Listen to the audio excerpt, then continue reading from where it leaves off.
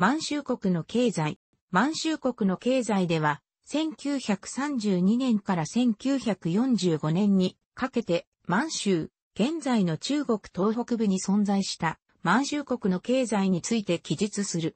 1931年の満州事変、1932年の満州国の建国後、日本により統治機構が整備されていった。満州国に対する日本の産業投資は、重工業に対する重点的資本投下、そしてやや少額ながら農業資本投下という構成であった。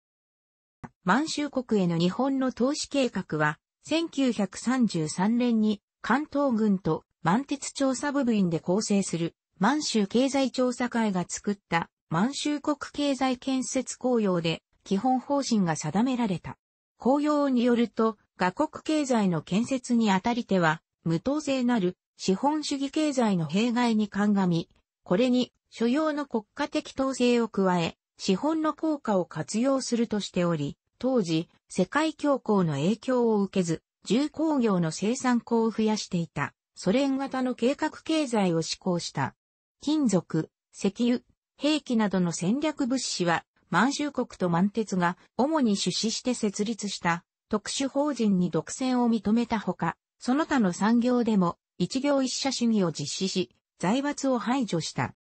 また、1932年に満州中央銀行を設立して、満州国内でいくつもの種類があった通貨を一元化し、満州元を発行した。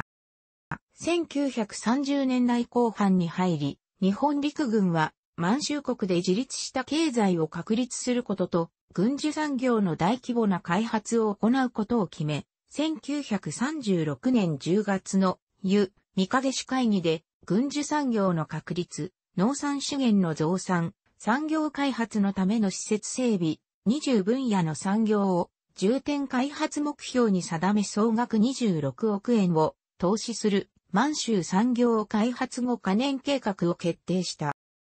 しかし、1937年に日中戦争が勃発したため、4月から始まった計画は、鉱工業生産を中心に投資予定は大幅に増額修正され、約50億円となった。自給自足経済の確立も困難となり、日本への原材料供給基地としての意味合いが強くなった。また、同じく1937年、相川義介が率いる日本産業が本社を新京に移住して、満州重工業開発となり、満州国内の重工業、工業への持ち株会社として、鉱工業への投資を一元的に管理した。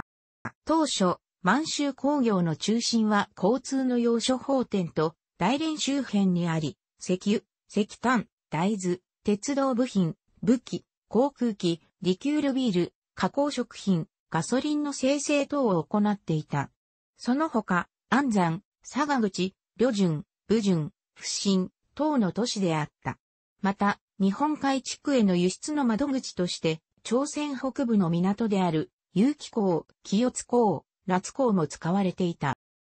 満州の対日貿易額は、1931年に輸出額が輸入額を超えた。投資額の半分から3分の2が大豆製品に充てられ、約10%ずつが石炭と鉄に当てられた。輸入品としては、麺、様々な穀物の粉、素鉄、工業原料等があった。主要貿易国は中華民国と日本で若干の輸出がソ連にもなされている状態だった。満州では外国の実業家が満州国をもじって日本州国と呼ぶほど日本人の進出が進んでいて日本が全額出資する満鉄と満州重工業開発が支配す、特殊法人が国内の主要産業を独占していた。相川義介は投資機会をアメリカなど外国に分配することを求めたが、外国の影響を嫌う関東軍に拒絶された。明治期、エドワード・ヘンリー・ハリマンの南満州鉄道への経営参画を阻止した経験は、満州国建国後も国家経営に影響することになる。しかし建国後間もなく、フォードモーターやゼネラルモーターズなどのアメリカ企業や、香港上海銀行や P&O などのイギリス企業をはじめとする各国の大手企業が満州国内に支店を置き営業を追い、フォードモーターやゼネラルモーターズなどは乗用車で半分以上のシェアを獲得している。日本の投資により、下記のような企業が設立された。と、主要な石炭の交渉は、武順にあり、15km の広さに10億トンの埋蔵量があると推定されていた。1907年から1908年の間は、その産出量は200万トン以下だった。1919年から1920年では370万トンまで増加した。後に1924年から1929年の間には554万トン、1934年には石炭産出量は800万トンまで増加していた。石炭の増産は内部需要の増加と輸出の増加によるものだった。1934年から1936年の石炭産出量の内訳は、その他の主要な交渉としては、円台があり、1923年から1924年には100万トンを産出していた。1930年の満州国全体の石炭産出量は1、00000トンを超えた。1941年には200億トンの埋蔵量のうち2、00000トンを産出していた。満州国ではガソリンは鉱物資源からの上流によって抽出されていた。武順では1941年に100万トンが生産されていた。熱下の石炭交渉でもごく少量のガソリンが抽出されていた。1931年から1932年にかけては鉄の生産量は100万トンであった。1934年には95万トンの低質な赤鉄鋼の交渉が見つかり、別の場所でも23.5万トンの交渉が見つかった。遼寧では10億トンの良質な鉄が眠っていた。満州国の主要な防気サイトの原料は、遼寧のアルナイトであった。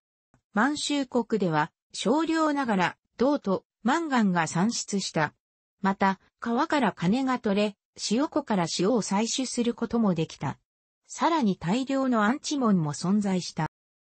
日本人の一人当たりの鉄使用量が平均 70kg だったのに、対して中国では270トンであった。アメリカは 450kg。1933年、安山での鉄の総生成量は43万トンであった。1941年には定期的に175万トンの鉄と100万トンのスチールを生成できるようになり、1942年の大掛かりな設備投資によって生産力が360万トンまで向上した。1932年からその他の産業に対する日本の政府、民間投資も増加していった。と同時に家や近代的なビルの建設が都市部で進んだ。